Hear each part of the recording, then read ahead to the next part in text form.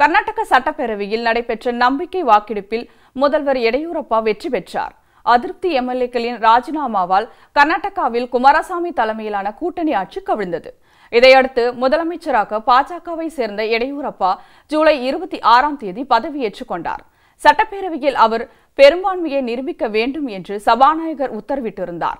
ஏற்கனவே மூன்று எம்எல்ஏக்கள் தகுதி நீக்கம் செய்யப்பட்ட நிலையில் நேற்று மேலும் பதினான்கு எம்எல்ஏக்களை தகுதி நீக்கம் செய்து சபாநாயகர் உத்தரவு பிறப்பித்தார்.